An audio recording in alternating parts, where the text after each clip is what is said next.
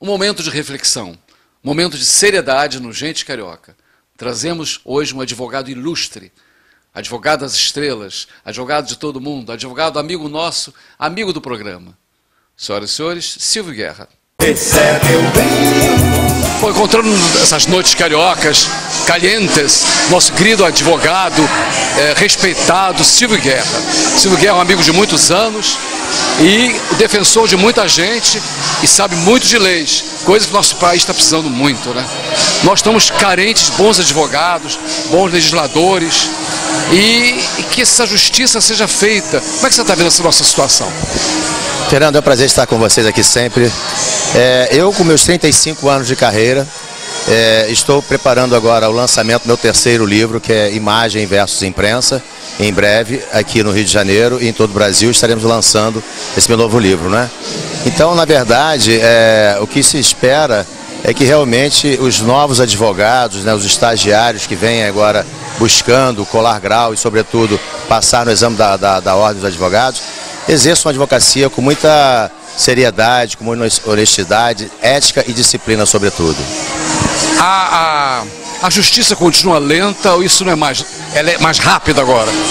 Pessoal, a, a justiça sempre foi bastante morosa, não é? em virtude dos processos serem é, chamados de físicos, são chamados processos físicos, são os processos de papel. Atualmente, nós estamos com os processos eletrônicos, digitalizados, tudo digitalizado. Os processos antigos, ainda que eram, que são, perdão, é, físicos de papel, eles estão sendo todos digitalizados e é evidente que está bastante favorável né, a, a nossa atuação com os processos digitalizados, favorece bastante. Esse mecanismo, vamos chamar de mecanismo, lava-jato, né? nós somos leigos nisso. Isso facilita essa, essa é, moralizar um pouco o nosso país? Com certeza absoluta, né? Eu entendo que o juiz Sérgio Moro vem exercendo um papel bastante importante na justiça, a qual nunca foi visto até, até então, né? E com certeza todas as pessoas envolvidas estão aí punidas, né? O Brasil está vendo a punição de cada um deles de uma forma bastante rigorosa, que é a reclusão. Bom, sem falar nomes, estamos à beira das eleições, né? vamos chamar assim, dois, três meses. E o que, que, se pode esperar desse país? Quem for entrar agora para nos, nos, presidenciar, um, o presidente que entrar, a gente não sabe ainda. Então, o que, que pode facilitar para a nossa vida?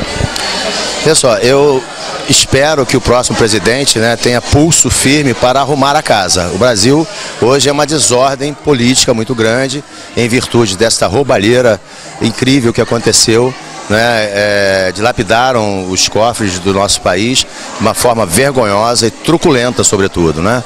Então, tenho certeza que o próximo presidente haverá de ter bastante trabalho esperamos de ser aí, então, um presidente honesto que possa realmente é, arrumar a casa, porque está uma bagunça, uma desordem total. O mundo todo está conturbado, né? Todos os países, a gente lê os jornais, os periódicos, a gente vê que qualquer país tem sempre um, um, alguma coisa errada, né? Por que, que nós nós estamos sempre em primeiro ranking, né? Estão falando que a gente, nós somos tão visados, nós como brasileiros, né? Por que, que essa, a gente foi tão evidenciado, é tanto roubo, né? Tanto assalto, a mão armada, né? É, assalto dentro dos apartamentos, fora dos apartamentos, não se pode confiar mais em nem, em nem nada. Eu estou falando em nome dos telespectadores, são muitos, e a gente sabe que é o dia a dia. Você é roubado no supermercado, é roubado na esquina, na rua mais tranquila do Rio de Janeiro, mas de repente não é mais. Então, você é roubado de todos os lados oficialmente, é, subliminarmente e de qualquer maneira você é roubado. Existe uma solução para isso? A população do Rio está bastante assustada, evidente, com essa situação. Né? Todos nós temos receio, medo, propriamente dito, em sair às ruas né, com suas famílias. É, existe praticamente, indiretamente, um toque de recolher. Né? As pessoas se recolhem né, com medo exatamente de frequentarem é, bares, restaurantes e tudo mais.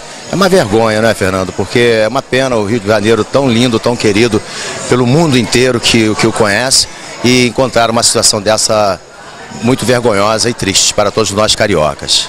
Já tem data de estrear o seu livro? Olha, o livro. Próximo. É, é, o próximo é o terceiro livro, Direito de Imagem na Internet, já está pronto. Já entreguei para a minha editora, que é a Altadena.